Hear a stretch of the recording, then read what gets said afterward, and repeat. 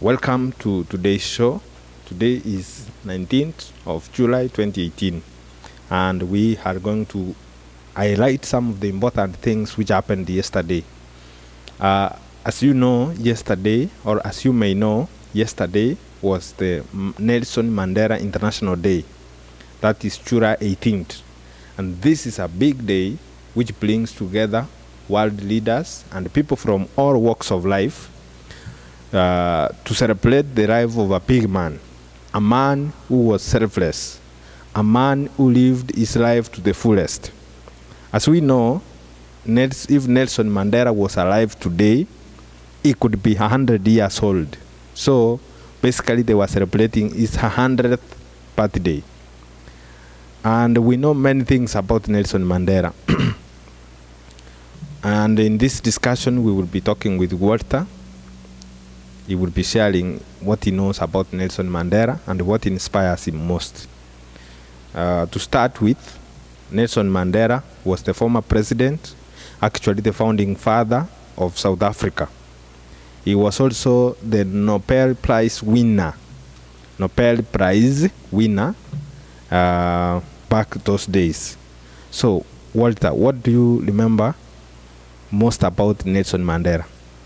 My history on Mandela lies mostly along freedom fighting. hmm Yeah, he is a renowned freedom fighter for the South Africa, Yes. and we know the apartheid regime in South Africa Mm. and the, the colonialism that South Africa faced. Mm. He was a strong man who stood even 27 years in prison Yes. for South Africa to gain independence, and is the founding president of South Africa. Yes, yes. Yeah. So I'm told he spent, you said, 27 years in prison. Yeah, he was in prison for And, 27 uh, years. I was surprised recently when an organization came and said, told the people all over the world yeah, that they were auctioneering his Yeah. room at robin Highland yeah. uh, for a night or two. And people could pay hundreds of dollars to sleep in that room. yeah. Do you think that was in honor of Nelson Mandela? No, that was exploiting. was Imagine people people selling your room where you, you spent your 27 years. that was exploitation.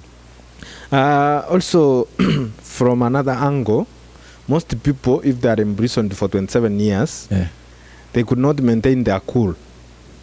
After 27 years in prison, by the way, when you come out, I guess you you will be different. You will be yeah, bitter. Yeah, You won't be a friendly person, Yeah. probably. yeah. Uh, what do you think made Man- Nelson Mandela stronger, even after coming out of prison after so many decades in prison? Is, it, there is humility in him. hmm Uh, that's pure humility in him, Yes. and he has that heart of forgiveness hmm and staying focused to what, to what he wanted to achieve. Yes. For him, Mhm. freedom was important. These other things did not matter. So he had an affection. Yeah, Even if he could stay in prison for he over stayed, 40 years, He stayed focused he still stayed mission. focused and Yeah. steadfast yeah, towards that big goal. yeah. Thank you. Now I want us to watch what people said at his memorial in Johannesburg, South Africa. Yeah. One of the big men who spoke at the function was uh, the former president of the United States of America. He is the president. He is the president, Yeah. Bwana Barack Hussein Obama. Yeah. he had to find a way of cutting across embedded histories, structures of governing, and the human attitudes they had given life to over time. He was cognizant of the fact that he was a flawed human being and said in many occasions that he was not a saint. It is a plain fact that racial discrimination still exists in both the United States and South Africa. And it is also a fact that the accumulated disadvantages of years of institutionalized oppression have created yawning disparities in income and in wealth and in education and in health, in personal safety, in access to credit. Women and girls around the world continue to be blocked from positions of power and authority. They continue to be prevented from getting a basic education. They are disproportionately victimized by violence and abuse. They're still paid less than men for doing the same work. That's still happening. Many developing countries now are looking at China's model of authoritarian control combined with mercantilist capitalism as preferable to the messiness of democracy. Who needs free speech as long as the economy is going good?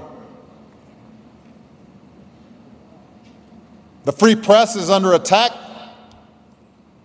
Censorship and state control of media is on the rise. Social media, once seen as a mechanism to promote knowledge and understanding and solidarity, has proved to be just as effective promoting hatred and paranoia and propaganda and conspiracy theories. Uh, thank you for watching this episode and tuning in to Kerosi TV. Now that you are inspired by the life of President, the former president, the founding father, the Nobel Prize winner, Bwana Nelson Mandela, now it is your turn to go out there and perform. Do something that people will remember after you are gone from this world. Thank you very much. Keep coming back for more episodes. And before you leave, make sure you subscribe to our channel, Kerosi TV. Thank you.